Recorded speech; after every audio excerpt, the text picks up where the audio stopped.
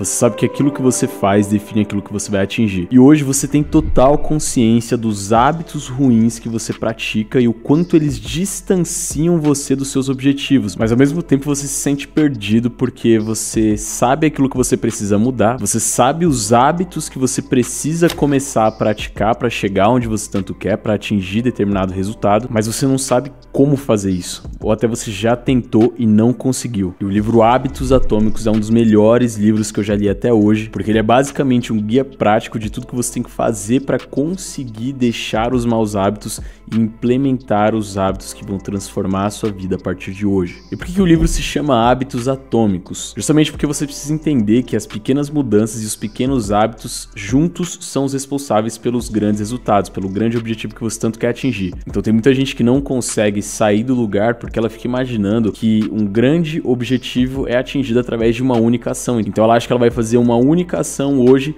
que amanhã já vai começar a fazer ela ganhar muito mais dinheiro instantaneamente, quando na verdade isso não ocorre. São um conjunto de pequenas coisas que você faz no seu dia a dia que vão causar um grande impacto no geral e de certa forma isso vai começar a te trazer benefícios em todas as áreas da sua vida e vai fazer com que você chegue nos objetivos que você tanto quer. E aí, sabendo desse primeiro ponto aí do porquê que o livro chama Hábitos Atômicos, outra coisa que você tem que entender para você conseguir implementar novos hábitos é que existem três camadas de mudança. Então existe uma camada de mudança nos seus resultados, uma camada de mudança nos seus processos e outra camada de mudança na sua identidade. A camada dos resultados, ela se preocupa literalmente em mudar os seus resultados finais. Então, de forma bem direta, digamos que essa camada contém ali os seus objetivos finais, como ganhar mais dinheiro, emagrecer, comprar um carro, enfim. A segunda camada é a camada dos processos, que diz respeito ao que você tem que fazer e executar para conseguir chegar nesses resultados. É basicamente a camada que contém os seus hábitos e as suas ações. E a terceira camada, que é a camada mais profunda, diz respeito à sua identidade, às suas crenças, à sua autoimagem, e a forma como você enxerga o mundo, a forma como você se enxerga e a forma como você reage à maneira como os outros te enxergam, aos julgamentos, enfim. O que você tem que entender para conseguir de fato implementar um hábito ou eliminar um hábito ruim está dentro dessas três camadas. Por quê?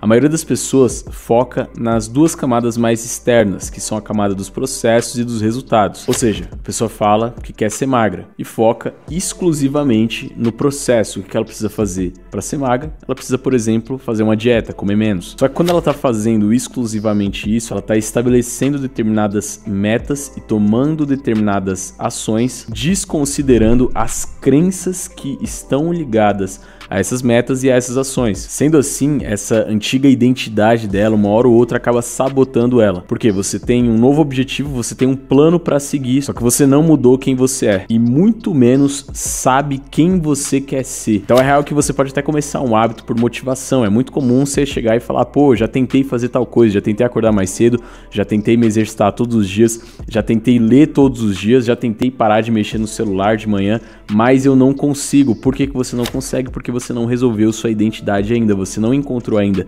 quem você é e quem você quer se tornar a partir desse objetivo final. Além disso, existem certos padrões associados a essa sua identidade que provavelmente você segue sem nem se dar conta. Então, muitas vezes você se rotula como uma pessoa que não é boa com internet, como uma pessoa que não sabe escrever um anúncio, como uma pessoa que não tem paciência para ler, como uma pessoa que não tem paciência para assistir um vídeo, como uma pessoa preguiçosa, e você vai se intitulando com esse monte de coisas negativas. Só que quando você repete essas histórias para você mesmo, por várias vezes, é muito mais fácil você ter uma resistência a novos hábitos, porque esses novos hábitos aí que você está tentando implementar, eles não fazem parte de quem você é, eles não fazem parte da sua essência, eles não fazem parte da sua identidade. E de forma natural, o contrário também ocorre. Então, por que, que será que você não acorda cedo e já vai direto, por exemplo, lavar o rosto e depois fazer uma meditação, ou então ler um livro, ou então até mesmo trabalhar? Só que ao invés de fazer qualquer uma dessas coisas, ao invés mesmo de levantar, você acorda pega o celular que está do seu lado e fica ali 30, 40 minutos iniciais do seu dia passando o feed do Instagram, ou então passando ali os stories, vendo a vida dos outros e, enfim, fazendo coisas fúteis. Isso acontece porque tá na sua identidade. Você se enxerga dessa forma. E aí, fazendo essas coisas teoricamente ruins, você tá apenas dando votos de confiança para sua identidade, para aquilo que você enxerga dentro de você mesmo. E bons hábitos como acordar mais cedo, é, treinar todos os dias, se alimentar bem, parar de comer porcaria, ou então meditar, ler um livro, estudar um assunto novo todos os dias, fazer uma execução nova todos os dias, racionalmente são coisas boas. Ou seja, você sabe que isso é bom, você sabe que você precisa fazer isso para você se desenvolver, para você ganhar mais dinheiro, para você ter sucesso na vida e para você ser mais feliz. Mas se tudo isso que você sabe que é bom, mesmo racionalmente, tiver em conflito com a sua identidade, com aquilo que você é, e você não enxerga onde você quer chegar, então simplesmente você não vai conseguir implementar esses hábitos. Então, ao invés de definir o seu resultado final, o seu objetivo final, antes disso, defina quem você é, saiba quem você é, como você se enxerga e quem você quer ser a partir daquele resultado, ou seja, a sua nova identidade a partir daquele resultado. Então, por exemplo, se o seu resultado final é ganhar mais dinheiro, como você se enxerga quem você se torna ganhando mais dinheiro, tendo mais dinheiro? Bom, exemplificando, com mais dinheiro você é uma pessoa mais feliz, com liberdade, uma pessoa que tem mais tempo para sua família, uma pessoa mais caridosa, uma pessoa com mais segurança, confiança, realizada consigo mesma. Então o foco nunca é no resultado particular, mas sim no tipo de pessoa que você vai se tornar com esse resultado. E agora que você já sabe esse primeiro passo, já sabe que o mais importante está na sua identidade, naquilo que você quer se tornar, ou seja, antes de estabelecer um objetivo, você tem que pensar quem você vai se tornar a partir daquele objetivo, sua nova identidade diante daquele objetivo, para que as suas ações tenham congruência, para que você tenha clareza acerca daquilo que você está fazendo, daquilo que você está deixando de fazer. Agora eu vou te falar como é que você vai fazer para deixar os hábitos ruins que você tem e implementar bons novos hábitos. Então vamos lá, como deixar hábitos ruins? Qualquer hábito é executado a partir da seguinte sequência. Então primeiro você tem um gatilho para executar aquele hábito, em seguida você tem um desejo, depois você tem uma uma resposta e por fim você tem uma recompensa para essa ação. Essa sequência de quatro passos que você provavelmente nunca se deu conta, mas que acontece sempre que você executa um hábito bom ou um hábito ruim. Então você está lá focado no trabalho e aí de repente seu celular vibra ou então chega uma notificação, bate lá um sininho, algum alerta e nessa hora você sabe que chegou uma mensagem para você. Logo você sente a curiosidade e o desejo de saber quem é que te mandou essa mensagem, ou até você já sabe quem mandou a mensagem e você está curioso para saber o que aquela pessoa falou, por mais que isso seja totalmente relevante e por mais que você possa ver essa mensagem até mesmo no outro dia que isso não vai fazer diferença nenhuma na sua vida. Mas você vai lá, diante desse desejo, dessa curiosidade, você tem uma resposta a esse desejo que foi causado por um gatilho e você pega o celular. Em seguida você lê a mensagem, tem ali um disparo de dopamina no seu cérebro e você tem uma recompensa diante dessa ação que você tomou. Outro exemplo, vamos supor que você decidiu que você quer parar de ver pornografia. Não vou mais ver pornografia, não vou mais me masturbar, enfim. E aí passa um, dois dias, três dias até que você tá lá no Instagram ou então no TikTok e aparece um vídeo lá de uma menina rebolando, fazendo dancinha, mostrando a bunda, enfim. Na hora, isso vai te gerar um gatilho sexual, que em seguida vai virar um desejo inconsciente de ver pornografia. Por fim, vai virar uma resposta daquilo que você vai fazer, que eu não preciso nem falar, e depois vai virar uma recompensa no seu cérebro através do que você fizer diante dessa ação. E indo mais a fundo, nesse caso em específico, qual que é a identidade de um cara que vê pornografia? Geralmente é um cara inseguro, geralmente é um cara que não tem confiança, geralmente é um cara que por algum motivo ele também não tá muito bem socialmente, porque um cara que sabe das consequências negativas da pornografia, um cara que tá muito bem financeiramente, que é confiante, que sabe que quando ele quiser satisfazer os desejos dele sexualmente, ele tem a capacidade de conquistar uma mulher incrível, ele literalmente não tem necessidade de ver pornografia. Terceiro passo, torne a execução desse hábito difícil. E esse terceiro passo faz um link com o primeiro, só que aqui você vai intensificar mais ainda essa questão. Um exemplo, vamos supor que você gaste muito tempo hoje nas redes sociais, no Instagram, no YouTube, você fala para mim que você quer reduzir esse tempo. Você fala, pô, eu tô perdendo 3, 4 horas do meu dia aqui só no Instagram, fazendo nada com nada, não tô ganhando dinheiro aqui e eu queria usar menos as redes sociais, só que eu não consigo. Parece que é um gatilho, tô pegando o celular ali toda hora. Eu deveria estar tá lendo, por exemplo, no momento mais livre eu tô sempre ali no Instagram. Existem hoje aplicativos que conseguem bloquear esse tempo que você tem de uso. Então vamos supor que você quer começar a reduzir ali o seu tempo de uso nas redes sociais. Esse aplicativo consegue regular o quanto você vai usar do seu Instagram. Então você começa a usar ali o Instagram durante o dia, chegou em uma hora de uso, ele bloqueia a sua entrada no Instagram, você não consegue mais entrar. Para qualquer aplicativo isso vai acontecer. Outro exemplo besta, mas que exemplifica isso, vai depender do hábito que você tiver aí querendo eliminar. mas é a questão de você dormir até mais tarde. Então, tem gente que gostaria de acordar mais cedo, tem a possibilidade de acordar mais cedo e simplesmente não acorda, fica dormindo aí até 11 horas, meio-dia, preguiçoso. O que você faz para tornar esse hábito mais difícil, esse hábito ruim de dormir muito? Coloca lá um alarme. Né? Um exemplo besta. Ah, um alarme não deu conta. Coloca dois alarmes. Tem televisão que tem alarme também. Existem inúmeras maneiras de você tornar a execução de um hábito ruim mais difícil e basta você identificar qual é esse hábito e o que, você pode fazer para tornar a execução dele mais difícil. E o quarto passo para eliminar um hábito ruim da sua vida é tornar esse hábito insatisfatório. Então a regra essencial para mudança de hábito é a seguinte: o que é imediatamente recompensado é repetido e o que é imediatamente punido é evitado. Então, para tornar algo insatisfatório, você tem que punir você mesmo sempre que você realizar algo, porque fazendo isso, mais uma vez, tendo essa punição instantânea, você vai estar muito menos propenso a executar aquela ação. Então, um exemplo que eu vou te dar que eu fazia, sempre que eu me via procrastinando, sempre que eu me via gastando um tempo a mais, por exemplo, nas redes sociais, ou então jogando videogame, ou então fazendo qualquer outra coisa que não me agregasse, e sempre que eu via que aquilo estava me atrapalhando, estava me distanciando distanciando dos objetivos, eu pensava, bom, minha punição vai ser fazer cardio todas as vezes na semana que vem, por conta de um erro que eu cometi aqui. Ou então minha punição vai ser trabalhar dobrado amanhã. Se hoje eu fui até 8 horas, amanhã eu vou até 2 da manhã, eu vou dormir menos, no outro dia eu vou estar tá mais cansado, mas eu vou saber por que, que eu tô mais cansado. Eu vou saber que eu tô mais cansado porque dois dias atrás eu desperdicei um tempo que eu não poderia desperdiçar. E aí quando você tiver lá no momento ruim de punição, você vai se lembrar por que, que você está naquela punição. Você vai vai dar significado para aquilo e, consequentemente, você vai estar tá muito, mas muito menos propenso para executar esse hábito ruim de novo. Agora que você já sabe como eliminar um hábito ruim, chegou a hora de falar sobre como implementar um bom hábito, aquele hábito bom que você quer começar a implementar, seja de leitura, meditação, alimentação, exercício físico, estudo, execução, foco, o hábito de ser mais produtivo, enfim, não sei qual é o hábito que você quer implementar a partir de hoje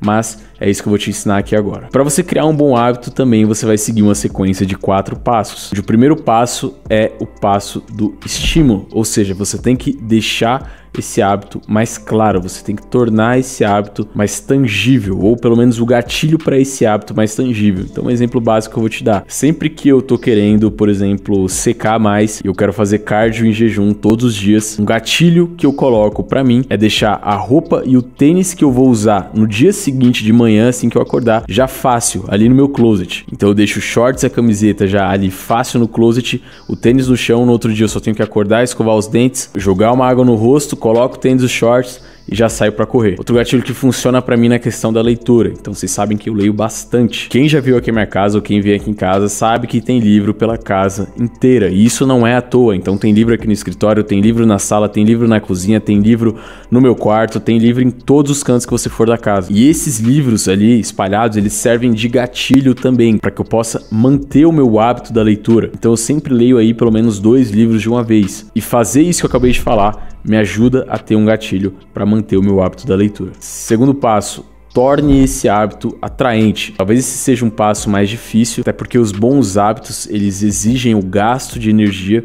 Então, não sei se você já parou para pensar, mas é muito mais confortável para o seu cérebro perder tempo nas redes sociais do que fazer uma leitura, porque fazendo a leitura você está forçando a sua concentração, você está gastando neurônio ali, ou seja, você está gastando energia. Então isso vai contra os princípios de sobrevivência para o seu cérebro instintivo. Mas a forma mais fácil de você tornar um hábito atraente, de você falar, pô, eu quero fazer isso, é muito da hora fazer esse hábito aqui, é muito da hora sentar no computador e ficar 5 horas focado, é muito da hora treinar, é muito da hora se alimentar bem, é você você mudando a sua cultura, é você passando a analisar e acompanhar pessoas que executam esses hábitos. Porque, inclusive, o livro diz que existem hábitos de três grupos sociais, onde o terceiro grupo, que é o grupo dos poderes, é justamente o grupo que vai fazer você enxergar esse hábito com mais atratividade, porque são hábitos que estão ligados ao status. Então, por exemplo, se você observa uma pessoa que está em forma, que está com shape bacana, que está com o abdômen trincado, e você olha aquilo e você vê ela treinando, você começa a enxergar o hábito de treinar de uma forma mais atrativa, porque você está vendo status e prestígio naquilo. Então, quando você associa o fato de você conseguir ficar 5 horas no computador focado na máxima produtividade,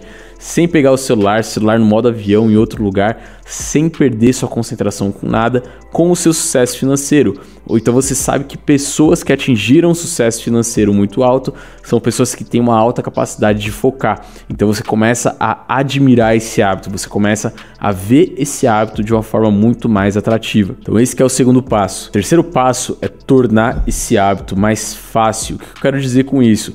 Você não vai conseguir ler 30, 40 páginas, 50 páginas de um livro por dia se você não tem o hábito da leitura. Você não vai nem conseguir ler uma hora, duas horas se você não tiver esse hábito. Então é muito mais fácil você começar pequeno.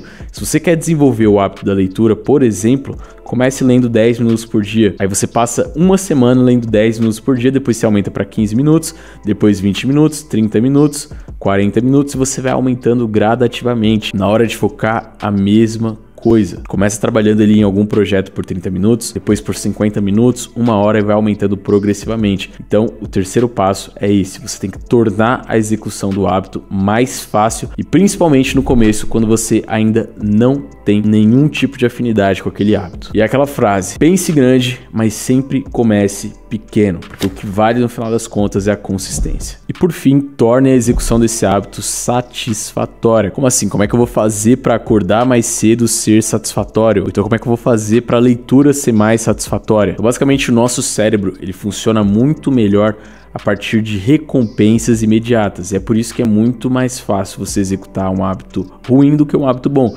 Porque nos hábitos ruins, a recompensa é muito mais imediata. Você vê uma mensagem ali, você perder tempo no Instagram, possui uma recompensa muito mais imediata do que você fazer qualquer outra coisa relacionada a um hábito bom. Só que você vai começar a criar o sistema de recompensa para esse hábito bom que você está executando. Um exemplo, você se alimentou bem a semana inteira. Um exemplo clássico, mas que funciona muito. Você se alimentou bem a semana inteira ali, bebeu água certinho todos os dias. Então, no final de semana, pelo menos no sábado ou no domingo, você pode se recompensar com a comida ou com o doce que você quiser. Lembrando, isso aqui é só um exemplo. Pode ser que você se recompense ali durante o dia, pode ser que você execute um treino de altíssima intensidade e você se recompense ali com açaí se você estiver dentro do peso ideal. Enfim, isso aqui vai variar de pessoa para pessoa, mas esse é um exemplo. Ou então vamos supor que você passou o dia inteiro focado naquele projeto, criando um produto novo, fazendo uma copy nova, ou então que você trabalhou pra caramba e aí você fala: "Não, a minha recompensa para todo esse tempo que eu passei focado aqui vai ser assistir o episódio de alguma série que eu gosto, ou então vai ser sair com aquela pessoa que eu quero sair". Enfim, cara, a recompensa vai de pessoa para pessoa. E não necessariamente essa recompensa precisa ser algo grandioso, muito pelo contrário. A maioria dos casos, quanto mais pontual for essa recompensa, melhor. E outro ponto interessante também que o livro cita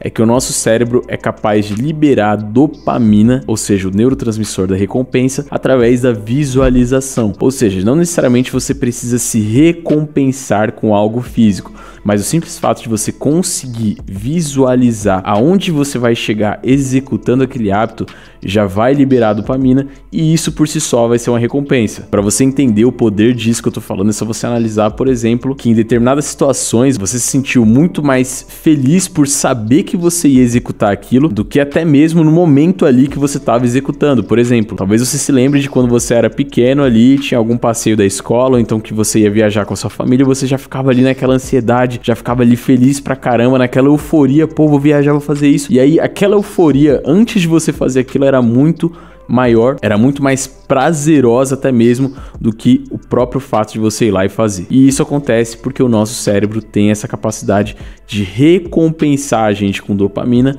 até mesmo quando a gente não está executando, mas sim quando a gente está visualizando aquilo que vai acontecer de bom. Então, Sempre que você concluir um bom hábito, visualize onde esse hábito vai te levar, as consequências positivas disso e não só o resultado, mas o que você vai se tornar a partir desse hábito e com certeza você vai estar tá também se recompensando. E bom, esses são os principais ensinamentos do livro Hábitos Atômicos. Eu realmente fiz aqui um resumo de tudo que é mais importante desse livro, desde a questão da identidade até a questão dos quatro pilares da formação de um hábito, não só de um hábito bom, mas como também de um hábito ruim. E também passei aqui para você os quatro passos de como que você faz para eliminar um hábito ruim e os quatro passos que você deve seguir para implementar um bom hábito. Espero que esse vídeo tenha te ajudado. Espero que você tenha gostado também do conteúdo, da forma como eu trouxe aqui. Espero que tenha sido didático. Se você gostou, deixe seu like, se inscreve aqui no canal se você não é inscrito para não perder nenhum conteúdo e deixa aqui abaixo o comentário, sugestão de outro livro que você quer que eu traga o resumo aqui. Com certeza, a sua fala aqui abaixo